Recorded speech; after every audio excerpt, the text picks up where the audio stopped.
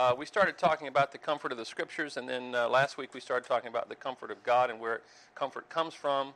And uh, we're people that really like creature comforts. I know everybody likes creature comforts. We like to be comfortable. But what happens is when things get uncomfortable for us, what happens? We need comforting, don't we? So when, uh, when you, when you we were talking about babies yesterday crying and how you can't get upset with a baby when they're, when they're crying because you have to be patient with them. And that's how they communicate. They, don't, they can't talk to you. They don't have a communication skill that way. Now, when they get you know, four, five, six years old and they're still crying, then you got to deal with it. But, you know, not when they're newborns, okay?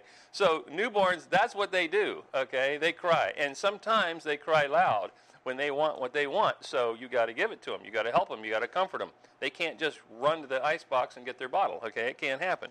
So, there are things that have to be done for folks, and this is part of the ministry. And even though when you begin to talk to people, you find out that many people are very uncomfortable with God. And uh, they don't want to talk about Him. Uh, Frank was given a testimony this morning about a friend that just passed away who originally, when Frank would uh, talk to him about the Lord, he didn't want to hear about it. And, and that's true. Many times people do not want to hear about God. They don't want to talk about God. They, they think usually you're going to talk about the same thing they've been hearing all their life about God.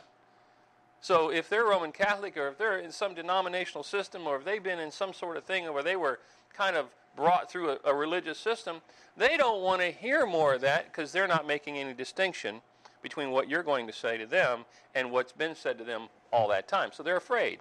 Okay? And and they're they're kind of bored with it. They're they're over it. They don't want to be a part of it anymore. And what it is, it's not so much that they don't want to have anything to do with God. They're really getting turned off on religion. And religion does that to people. And uh, the, the question is when you talk to people, you know, you, you have to be able to meet them where they are.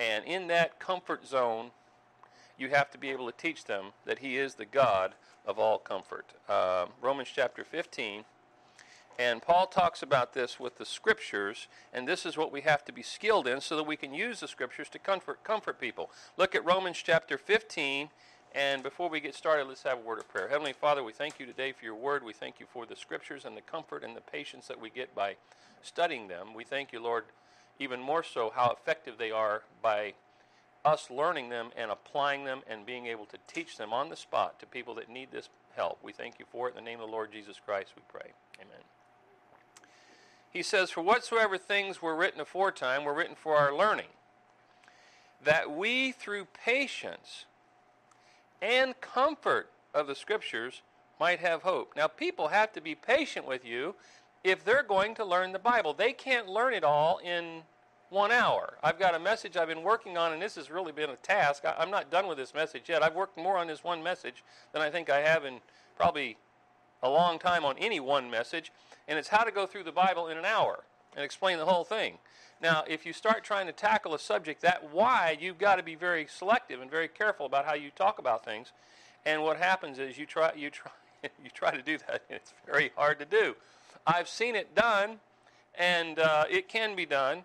But I, I'm thinking of an overview, and as you do that, you realize that sometimes people they, they need to see the big picture in the thing. They need to see what's going on in the big picture. Well, when you start talking to lost people and you try, start trying to comfort lost people, what's the big picture for them? Well, they don't, they don't have a big picture. They don't have a view of this at all. In their mind, they're confused about so many different things, so you have to help them along. Okay?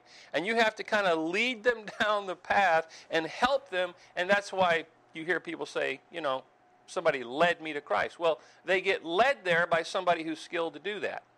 And so if, if you're going to talk to somebody who, who has been in church all their life and the only comfort verse they know is thy rod and thy staff, they comfort me, then you know they're in trouble.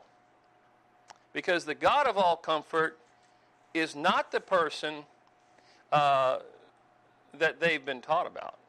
They've been taught another Jesus. They've been taught the Jesus of folklore. They've been taught the Jesus that Satan wants to present. Okay? And when these ministers of righteousness transform themselves into angels of light, they're not talking about the Lord Jesus Christ. they're talking about something else.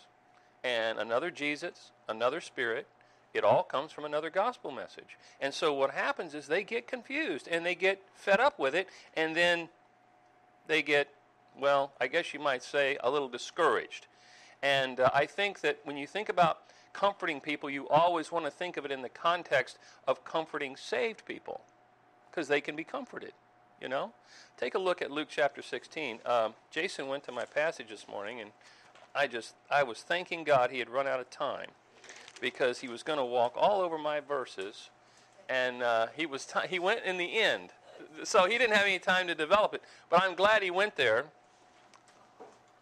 because this particular passage is a great passage about comfort. And you know, you know, you don't always think about this whole thing about comforting somebody who's in hell, but at the same time, you realize that when you're talking to lost people, what, what are you going to talk about to begin with? I mean, how are you going to start a conversation with somebody if you don't talk about condemnation? Condemnation is, is really where they need to be because some people don't think they're condemned. Some people don't think they're guilty. Some people don't think they've got a problem with sin. Some people have to be taught that. Most people do not. Uh, I would say that generally, when you talk to lost folks, they are well aware that they're lost. Okay. However, admitting that and talking about it openly in public is not something that they always want to discuss. Condemnation is a big issue. Now, I want to read the story to you real quick. Go to Luke chapter 16, verse 19. There was a certain rich man which was clothed in purple and fine linen and fared sumptuously every day. And there was a certain beggar named Lazarus, which was laid at his gate, full of sores, and desiring to be fed with the crumbs which fell from the rich man's table. Moreover, the dogs came and licked his sores. And it came to pass that the beggar died and was carried by the angels into Abraham's bosom. The rich man also died and was buried, and in hell he lift up his eyes, being in torments, and seeth Abraham afar off, and Lazarus in his bosom. So Abraham and Lazarus are on one side and the lost man is over in the other side, and they can't get to each other. Verse 24, and he cried and said, Father Abraham, have mercy on me, and send Lazarus that he may dip the tip of his finger in water and cool my tongue, for I am tormented in this flame. Now, this man's dead. Now he's having a conversation with the patriarch Abraham and Lazarus. And by the way, Lazarus was somebody that he refused to comfort. He refused to help him. He refused to give him medical treatment. Okay? He's got sores on him, and what do you have to do when you got sores on you? You got to dress them and take care of them. All this guy could afford was dogs licking him. That's all he could afford. He's not got any food. He's not got any. He's a beggar. And he's begging, according to Deuteronomy 15, verse 7, he is begging according to the law of Moses. God makes provision under the law for a people who are destitute. He has his own program for them.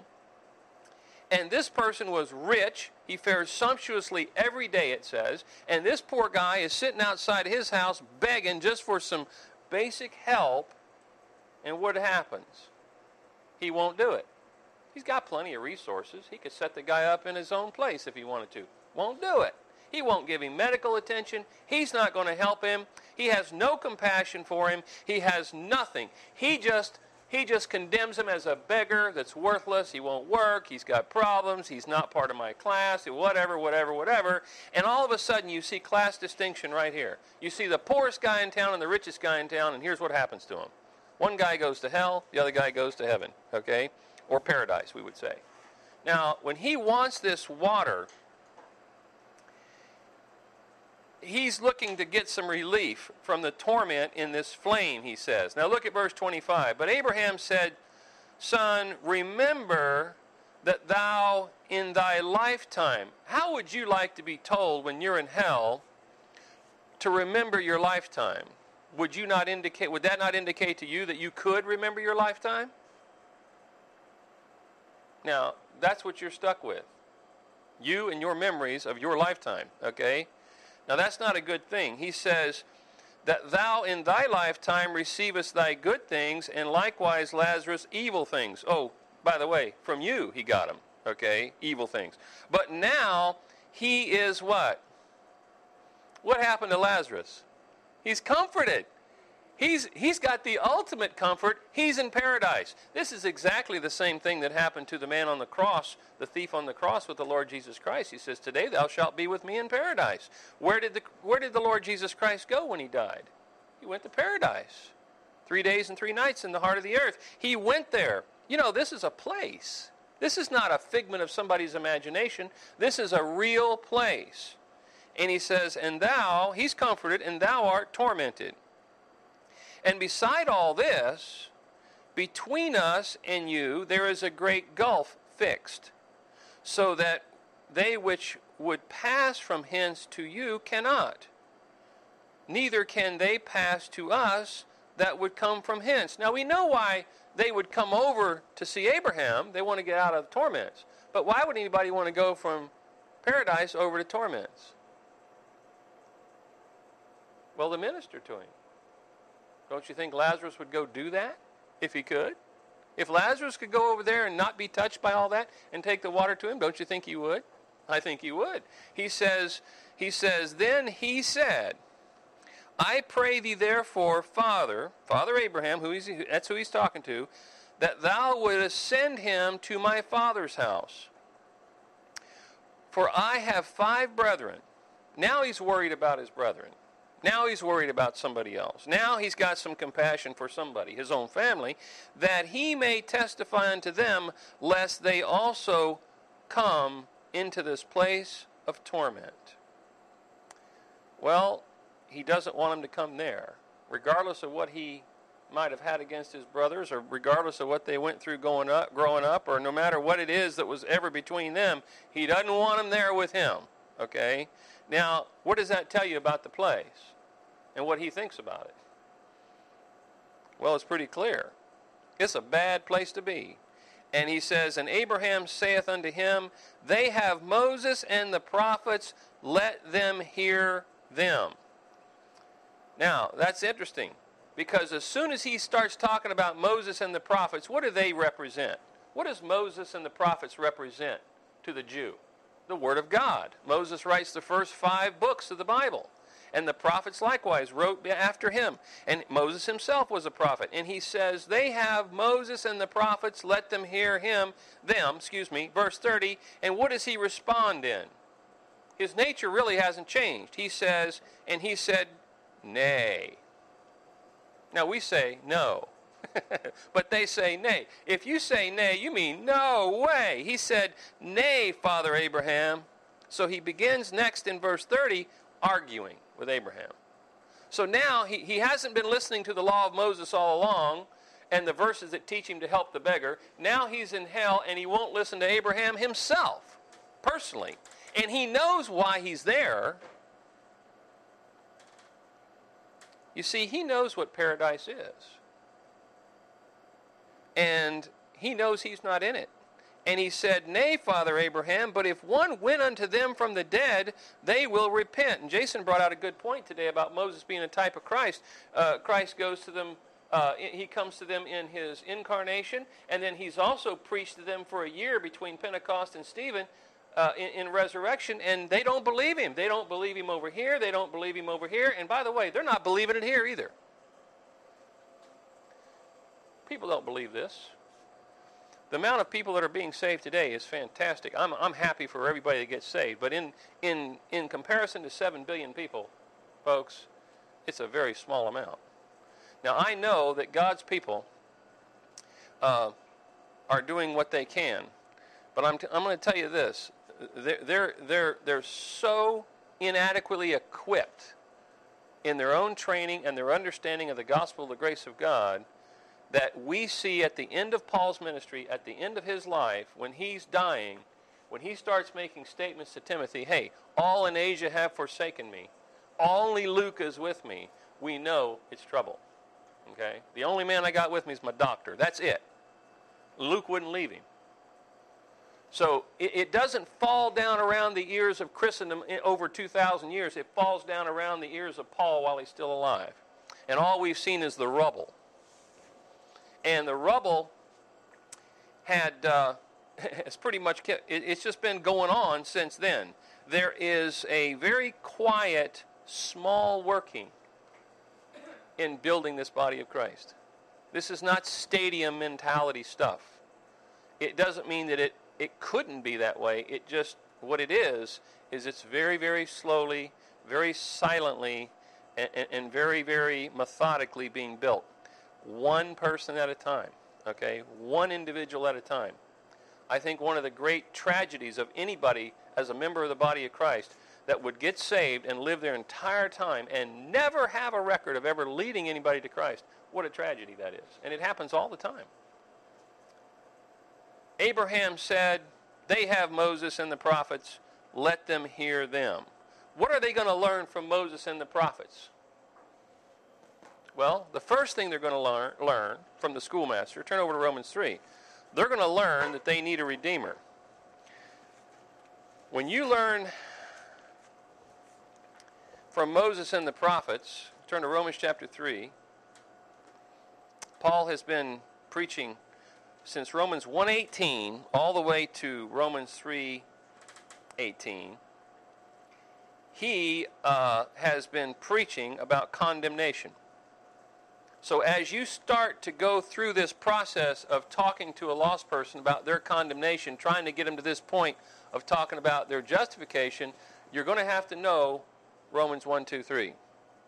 It is as easy as 1, 2, 3, but I'm going to tell you there's some, there's some things in Romans 1, 2, and 3 that take a little bit of thought and a little bit of time to work through. And Romans chapter 3, verse 19, this is very interesting how he says this. He goes on from, from verse 18, he's describing those who have been pretty much denying everything uh, concerning God, and, and these are what we consider the, the picture of the lost. In verse 18, verse 18, he says, There is no fear of God before their eyes. In verse 19, he says, Now we know that what things soever the law saith, it saith to them that are under the law, that every mouth may be stopped, and all the world may become guilty before God. So, the law of Moses first brings you to a point of understanding that you're guilty before God. Verse 20, he says, Therefore, by the deeds of the law, there shall no flesh be justified in his sight, for by the law is the knowledge of sin. So, when you're going to bring a person to condemnation and understand, I don't mean condemning them individually, I'm talking about teaching them about the condemnation that is on them already. They are under the sentence of condemnation, they're under the sentence of, of eternal death they're under the sentence under that. And the question is not whether you're under it or not. The question is how are you going to get out from underneath it? That's the question. And who's going to lead you out of this furnace and bring you away from it so you don't have to burn? Okay? Now, getting these people out is a process that really I, I, do believe that it takes skill and learning to perfect. It is not something that, w- when I first started getting into the message of grace and started learning this, I had no idea how to do this. I, I, was, I was trying my best to lead people to Christ, and I was doing it. But once I began to learn some of these things in Romans 1, 2, and 3, my, my whole ministry took off in, in a way that I never could imagine. Because then I could begin to show people better how they need to look at God and His Word. And the first thing you have to learn is you're condemned. The first thing you have to admit is I'm lost. I need a Savior. But that doesn't do any good if you're by yourself and nobody's talking to you about it. People are walking around thinking that already. They know they're lost. But who's going to help them? The question is how can you be in a possession of a, of, of a message that takes people from hell and puts them into paradise, into heaven, and takes them and puts them into the body of Christ in our particular dispensation, how can you be in possession of that information and not speak about it? That's what bothers me so much. The, the issue of the evangelism and the issue of trying to get people saved is often put off because, what? It's not just because I don't have the training. Many of you are well trained in this. You've heard this over and over and over. And yet, there's that hesitancy. And uh, we'll talk about that in ETC. That's the fear. And the fear has to be overcome. Look at uh, Luke chapter 16. When you think about your own fear and your own misgivings and your own fear to go out and talk to people and your fear of embarrassment, your fear of whatever, think about the fear of being in hell for eternity and not being able to get out. Think about that. And what he says here, he says, Moses and the prophets, they have the information that, that they need. Your brothers can hear Moses and the prophets. Let them hear them in this whole concept of Moses and the prophets that Paul's talking about, it's, it's not only condemnation that's been taught, and the schoolmaster brings them to Christ and teaches them the lesson of the schoolmaster, but there's a confirmation, and the confirmation is what? Go back to Romans 3 and look at it again. There's a confirmation that takes place that we need to really pay attention to okay? Because now we see the condemnation. It's, it's already been demonstrated for 64 verses. And now the turning verse in the entire book of Romans begins in verse 21 with this phrase. I've told you before there's 13 of these but nows that Paul speaks of. And this particular one is, I think, one of the single most important ones because of the subject matter it's associated with. Verse 21, he says, but now the righteousness of God without the law is what? Manifested. Now, it has been demonstrated in the person of the Lord Jesus Christ. It is demonstrated in the appearing of the Lord Jesus Christ to Paul with a message that demonstrates that here's the message for you without any works involved whatsoever for any religious activity. Now, Israel never got saved by works, but they did have to be involved in works because that was part of their sanctification. They had to be separate. They had a religious system. We do not have any of that attached to our message. Our message is completely free. You know what you're supposed to do with works? Cease. That's what you're supposed to do with works. You're supposed to quit your quasi religious activity when you're a lost person. You're supposed to cease from trying to work your way to heaven, and you're supposed to just sit down, shut up, and listen to what God says about you getting saved. Because He says, But now the righteousness of God without the law is manifested. Now He says, being witnessed by the law and the prophets. What did the law do? It condemned them and it was a testimony against them the whole time they were under it. Okay? The prophets wrote, and every single time they wrote, it was exactly the same thing. And what did they do with the men and their writings? They cut their writings up, threw them in the fire, the case with Jehudi and Jeremiah, and they also killed the prophets. They sought Isaiah in two. Now, what do you do with people like that? The most religious people that ever lived on this planet put the Lord Jesus Christ on the cross of Calvary. That's no surprise because the first man ever born of a woman was a murderer. So, where are we in this picture? The, the 1500 years from Moses to Christ settles it, folks, for the entire world and forever and ever. It settles the issue that the witness against the law as a means of justification is not possible. Man cannot pull himself up by his own bootstraps. Any son of Adam needs a redeemer. When God found Adam and Eve, where were they? Where do guilty people go? Where do, where do men who are outlaws go they go to their hideout. where, were, where were Adam and Eve? They're over here hunkered down behind the tree going, you know, like that. And they've been messing around trying to fix this problem by sewing these little fig leaves together. Now, seriously, they're going to try to fix it? They're going to try to fix it? You remember when they did what they did, they weren't even sinners. They were sinless when they did what they did. But the problem isn't what they did. The problem is you're in them. That's your problem. Romans 5 says, By one man sin entered into the world, and so death by sin. And so, when, you look at what Adam had, he had an opportunity. He blew it. The problem is, you were in Adam.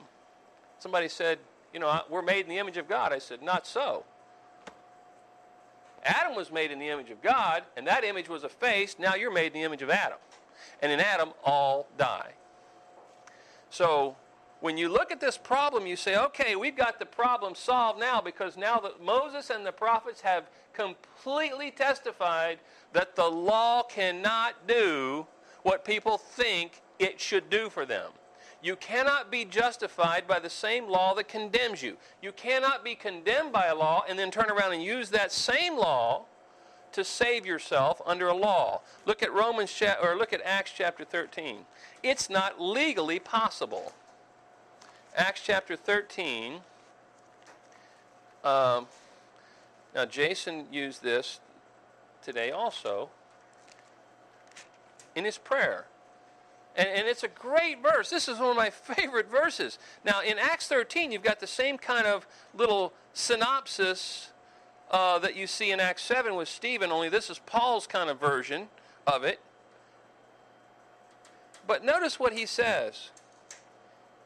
Verse 38 be it known unto you, brethren, men, uh, therefore, men and brethren, that through this man, Jesus Christ, is preached unto you the forgiveness of sins, and by him all that believe are justified from all things from which ye could not be justified by the law of Moses. The law of Moses cannot justify a single individual. You remember the story of the Good Samaritan? And he's, he's needing help. And what, what happened when the when the religious leaders came across him. They crossed away from him. Yeah, they crossed the street on the other side. You know why? Because there was nothing they could do. They represented the religious system of Israel, and it wouldn't help the man. You see, their religion was not designed to help them, it was designed to condemn them and bring them to a point where they could believe that they had a Redeemer. They were being asked and being shown to believe exactly what Job had believed several hundred years later or earlier. And Job says, I know that my Redeemer liveth and will stand on the earth in the last day. Job knew his Redeemer lived. He understood redemption. Redemption is when somebody pays to get you out of the prison. That's what it is. And redemption means you're bought with a price.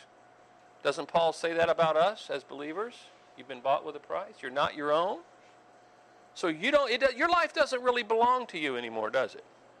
You're a son of God now. You belong to Him. And my suggestion to all people that are in the body of Christ, you need to obey your heavenly Father. That's what you need to do.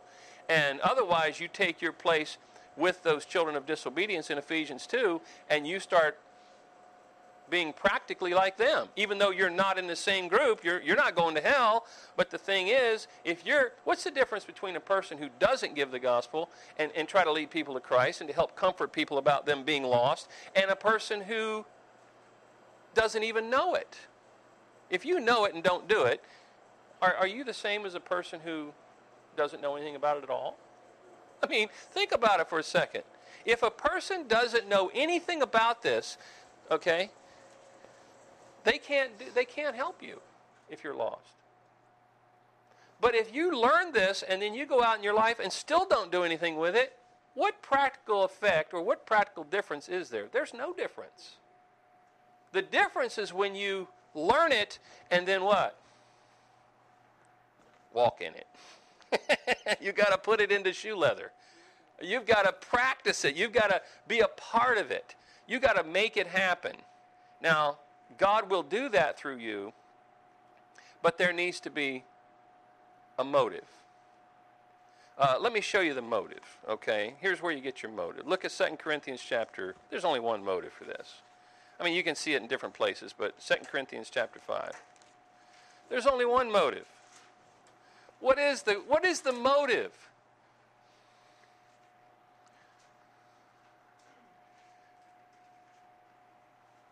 2 Corinthians chapter 5. Paul says, Look, man, everything I do, I do for you guys. Okay? Everything I do in my ministry, I'm doing it for you. Okay? Everything. Everything. Look at verse 10. For we must all appear before the judgment seat of Christ, That's where the microscope, that's where the magnifying glass gets put on what you did in your ministry. He says that everyone may receive the things done in his body according to that he hath done, whether it be good or bad. Now, I know people have been, uh, for years, I've had to deal with that verse with people, and they say, well, it's good and bad. That must mean good or evil. No, it's talking about good or bad things that you do where? In your body. Now, where do you carry out the ministry of your, your life? Where is your ministry carried out? I don't know about you, but mine carried out right here in my body. Okay? I walked here today. I drove here. I came here. I, am I'm, I'm inside my body. If you want to meet Russ, you got to come and, and have to look at this to, to meet me, but this isn't me. This is just what I live in okay? This is my little shack I live in, and this is my home away from home. Now, what I do in my service for the Lord Jesus Christ has, as, as a believer, is to build up some capacity in me so that I can be useful when God finally puts me into the place where He really is going to use me. This is all training down here in the dispensation of grace. It's all training and the training time is going to be useful for you in the future. And if you do something that's bad, that is, preach Israel's program instead of this program, or try to bring this program from here over to here, or try to bring this program from here over to here, or even just live here by yourself and don't even worry about anybody else and say, well, I'm just going to live unto myself because that's what I'm going to do because that's what I'm going to do. That's all I want to do. And what happens here is you got to remember the capacity is going to be utilized, and in order to know what is useful in eternity, God's going to sort it out. And you know how He sorts it out? He's going to sort it out. He says He's going to sort every man's work of what sort it is. So when He sorts it out, what's the best way to sort something? Like if I give you a bunch of scrap metal, say, gold, for instance, and you've thrown all this stuff into a pot, what's the best way to get all the junk out of that? Put a fire under it and start it boiling and get it to a temperature where it'll boil, okay? Because you can boil gold. Now, once you get it to that temperature, what happens? All the junk comes to the top. It's called dross. And they scoop it off, right? And what's left? Pure. It's pure. Everything you have left is pure. And that pure gold is usable. We don't want the junk in the gold. We want to get all the junk out. That's exactly what happens to Israel over here in the tribulation. He takes them through the tribulation. Two thirds of them die. What's that? That's the dross. The pure part of them come through, and they get an opportunity. Well, we get an opportunity now. But Mr. Stam said it best. He said, Only one life, twill soon be past. Only what's done by Christ will last. And as you look at this, you say, okay, he's going to judge me, whether it was good service or bad service. He's going to judge me, and now I'm going to have to deal with that. For we must all appear, he says. Now, verse 11 Knowing therefore the terror of the Lord, we persuade men. Now, I don't believe this terror here is, is is talking about terror towards us. He's talking about knowing the terror of the Lord in general. Okay, because it is going to be a terrible thing when the Lord Jesus Christ comes back. That's why it's called the great and terrible day of the Lord. Okay? Now, he's not a terrible person, but he can bring some terrible things on people, and hell is one of them. And uh, you can have that discussion with him in eternity about why he designed to do that, why he desired and designed to create it. But the Bible says explicitly that hell was designed for the devil and his angels. Man was not, it was not man's intent to go to hell. Man's intent was to be put on the earth, be a prophet, priest, and king, and rule the earth and take the earth back from Satan and let God rule there with man. What happened? Adam was knocked out in the first round because he what? He listened to his wife. And he made a bad decision. And after he did that, the whole thing fell apart, and now we're dealing with the cleanup. He says, Knowing therefore the terror of the Lord, we persuade men. Well, how do you do that? He says, But we are made manifest unto God, and I trust also are made manifest in your consciences. For we commend not ourselves again unto you, but give you uh, occasion to glory on our behalf, that ye may have somewhat to answer them which glory in appearance and not in heart. For whither we be beside ourselves, it is to God, or whither we be sober, it is for your cause. Great definition of sober there. Not being beside yourself, not being out of control. Paul got out of control, and the and the, the, the king said, You're beside yourself. You're crazy, man. And you know, sometimes we do that. And I found myself getting pretty excited yesterday talking to a man. And uh, he said, he told me when he left, he, says, he said, Russ, this is the best thing I've heard all year. And he says, only one problem. I live in New Port Richey, 35 miles away. I said, well, that's only a 35 minute drive from here. I said, don't let that stop you.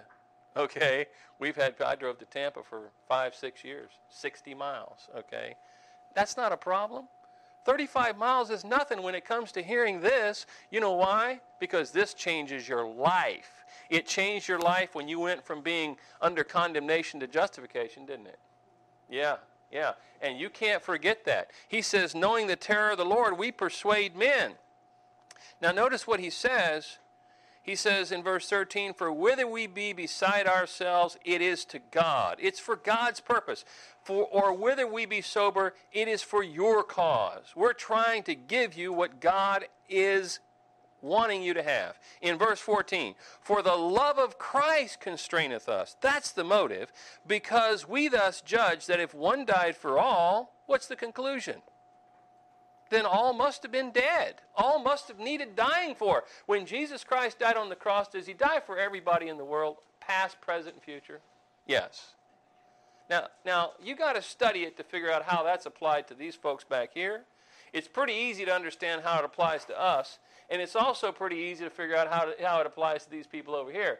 The fact is, there isn't any other way for anybody to get to God except through that cross. That's it. There is no other way.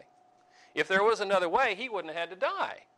So as we look at this, we're, we are entrusted with a message that, that really is of, of so it's of such importance and so important that we really can't walk away from it. He says, For the love of Christ constraineth us, because we thus judge that if one died for all, then we're all dead, and that he died for all, this is a fact, that they which live should not henceforth live unto themselves, but unto him which died for them and rose again. So who are you supposed to live unto? You're supposed to live unto him. And if you live unto him, you're not living unto yourself. And that means what? What does that really mean when, when Paul says it? Does he mean you can't own a home, you can't drive a car, you can't get married, you can't have children? Does it mean all that? No. It means that you're to structure into your life the work of the ministry as the central core of what you're doing, not a part of it. It's not a satellite that comes around you and every once in a while you beep, beep, beep, and you grab some of it. You're, you're not supposed to do that. You're supposed to make the ministry your life. Look over at Colossians chapter 3. I mean,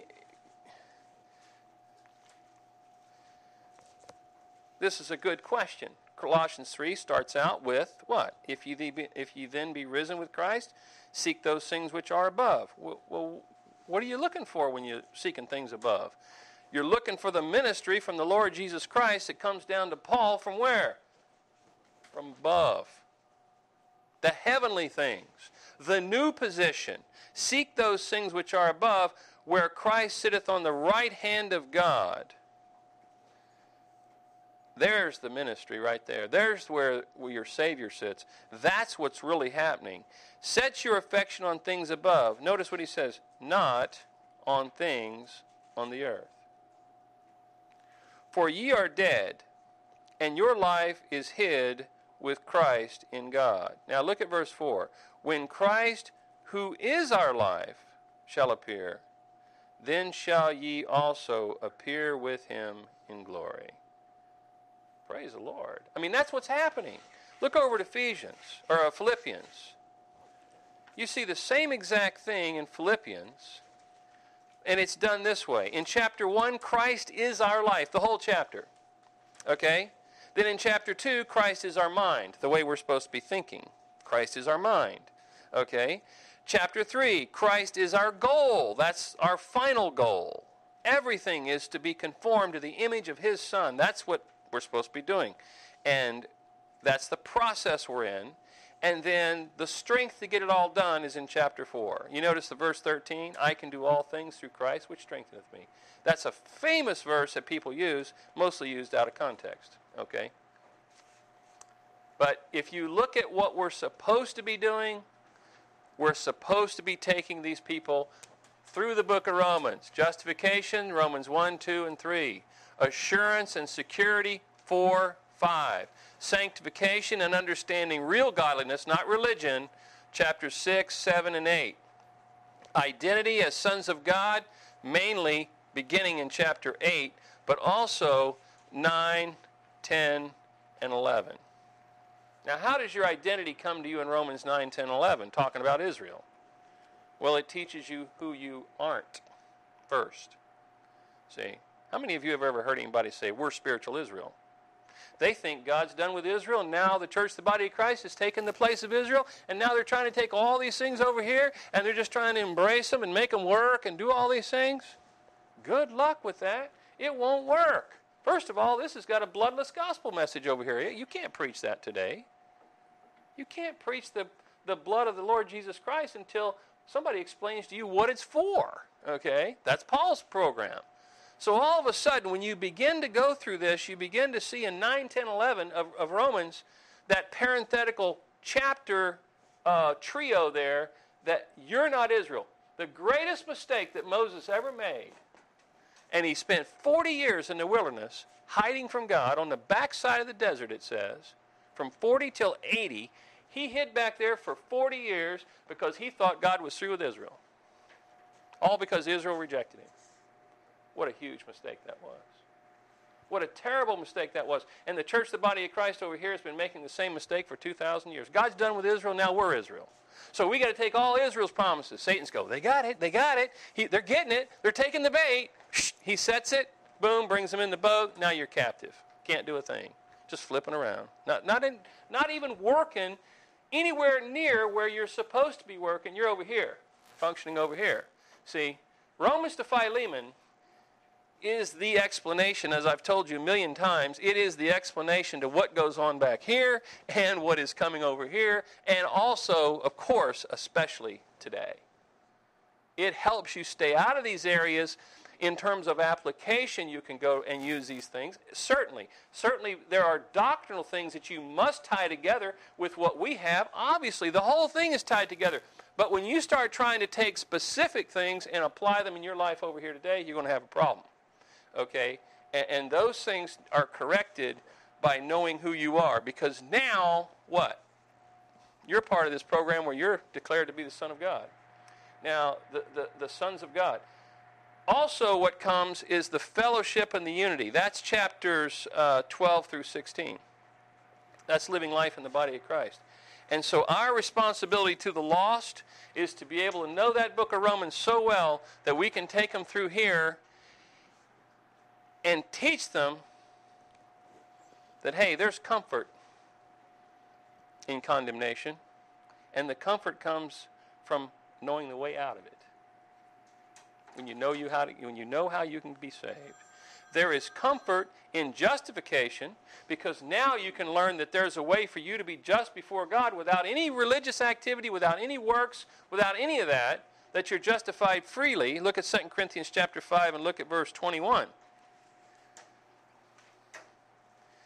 He says, For he hath made him to be sin for us, who knew no sin, that we might be made the righteousness of God in him. Wow. What a great thing to, to be made the righteousness of God. Have you ever thought about how you would get the righteousness from God? Well, Paul identifies it in Romans chapter 5 as what? You remember the story of the woman at the well when he's talking to her about the gift?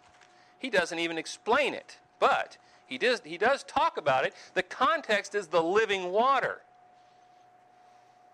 And she's confusing the, the drinking water from the well with him as being the living water, but he speaks to her about the gift. He just mentions the gift. Israel never understood righteousness as a gift from God. They never understood the concept. Well, in Romans chapter 5, look what Paul calls it. Verse 17. Better start reading 16 first. And he says, And not as it was by one that sinned, so is the gift. It's not like it was with Adam. You're not on probation. Okay? Get that from chapter 5. You don't have a test that you have to meet or whatever. When you believe that Christ died on the cross for your sins, you're in the body of Christ, and there is no probation. Religions today put you on a probationary program whereby you get saved, so to speak, and then you've got to stay saved by doing good things. Uh uh He says, and not as it was by one that sinned.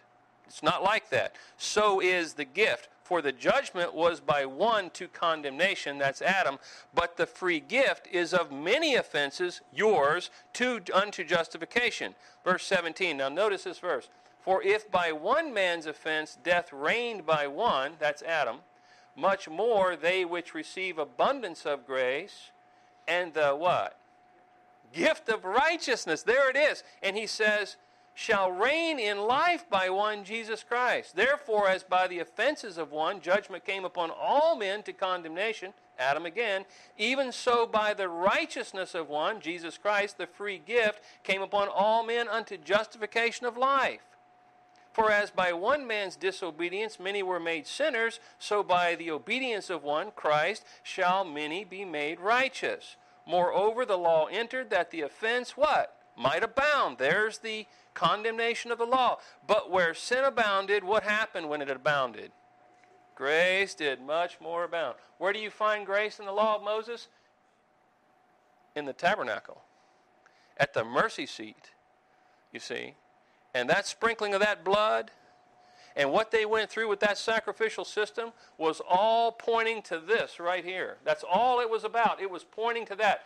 The blood of bulls and goats could never take away sin. And I guarantee you this if blood of bulls and goats can't take away sin, water can never take away sin. So don't ever let anybody ever fool you into believing that water baptism will save your soul or anything else other than the blood of the Lord Jesus Christ. It is that and that alone and nothing else. Now, the whole idea of teaching people that they can be justified by faith, that they can have security and assurance without any works to be saved or stay saved, that they are completely secure in Christ, that they have the comfort of knowing about sanctification, real godliness, which is this is probably one of the most important ones of all of them on the thing because this is where most of the Christians are plagued. This is where the Christians today are in the mud. Their wheels are spinning in the mud because they want to serve the Lord, they want to learn their Bibles, but they can't because the Bible publishers print all these corrupt Bibles and they can't figure them out. They can't have anything to trust. They don't know how to read a Bible that, that's so complicated and weird and strange and hard to read. The modern Bibles are not easier to read, they're harder to read. And they're more of a problem because they're corrupt. They take away and, and, and, and corrupt the verses that help you with these things.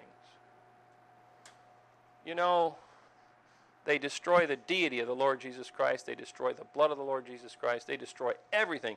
And, and they can't get it because they, they, the Bible's been messed with, and the preachers can't preach out of those Bibles the truth because it's not there. You see how this is working?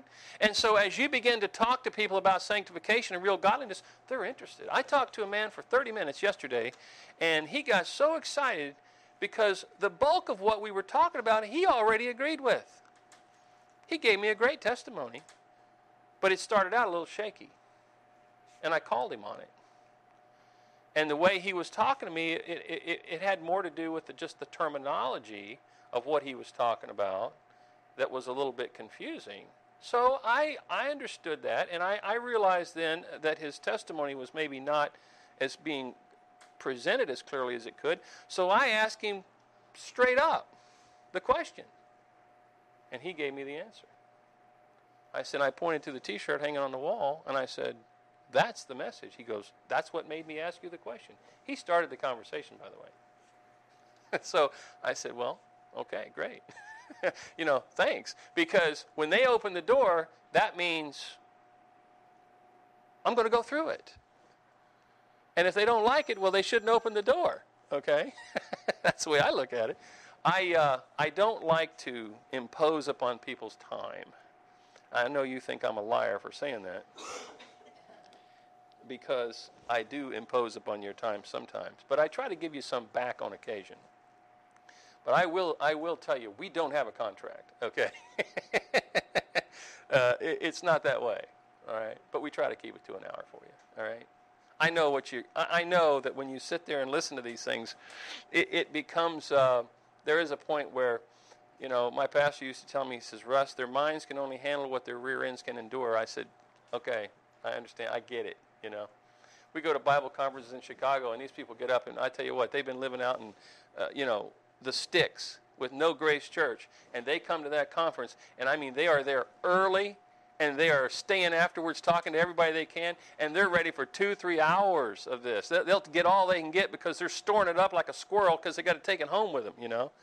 And thank god for the internet and videos and all the other stuff they can take with them it's, it's wonderful how as you begin to help people and, and teach them about all these different things how wonderful it is how their life gets consumed with learning this and, and trying to apply it in their daily lives and seeing the fruit it bears.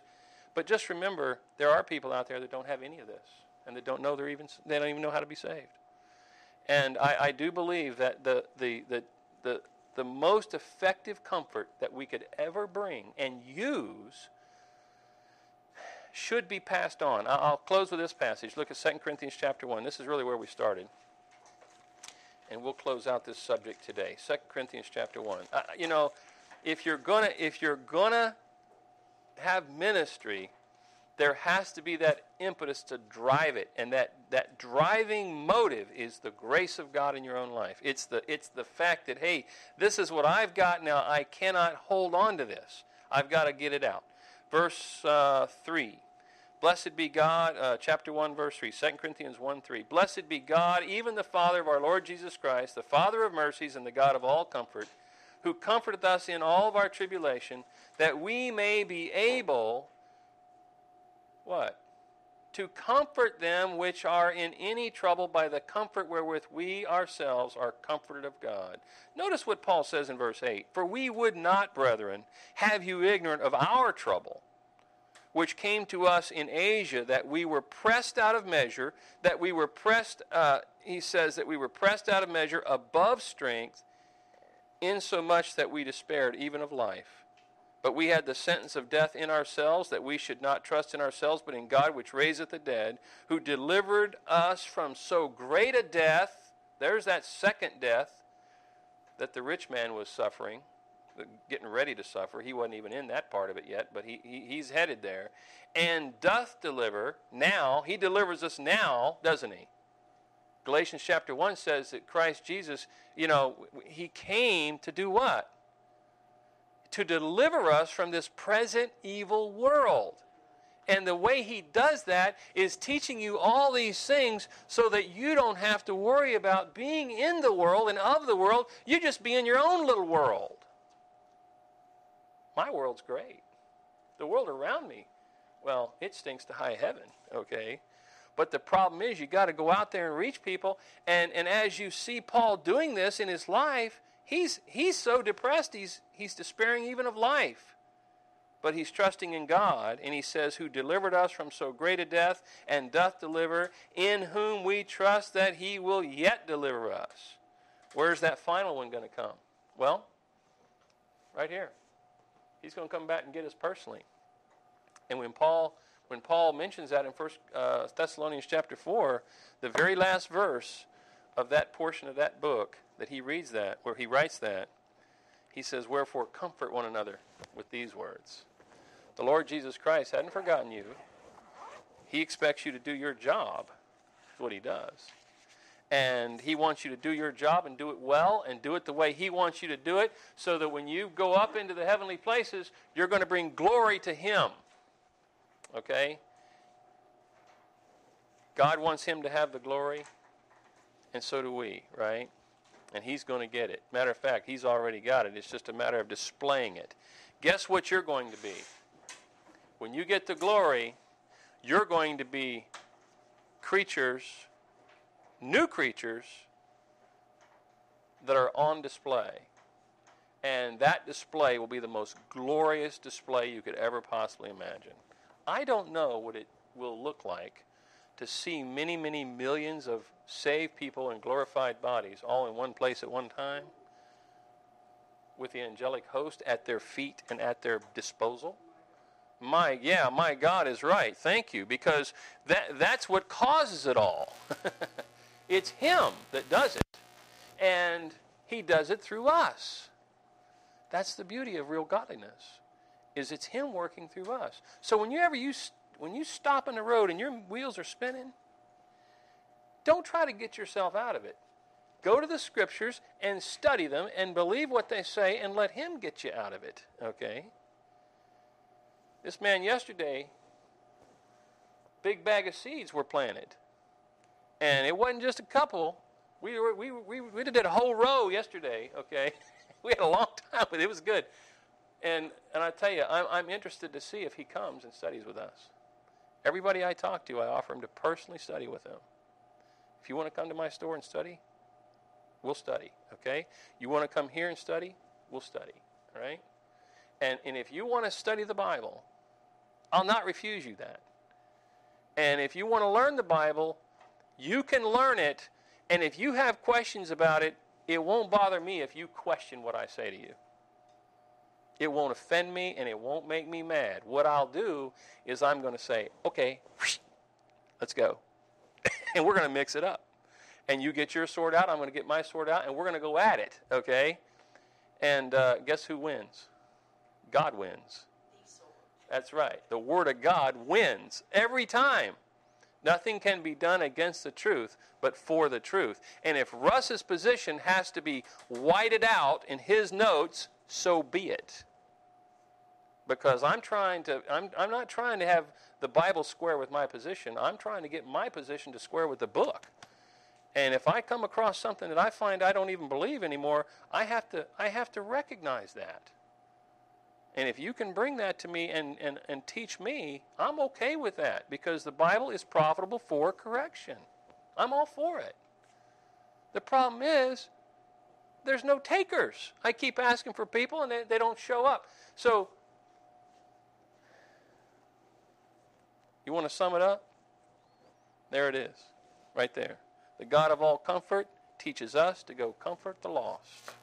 Okay? And start by doing those things with them. And you'll get so much comfort in your own life by doing it that you will be a happy person. Okay? Let's have a word of prayer. Heavenly Father, thank you for your word.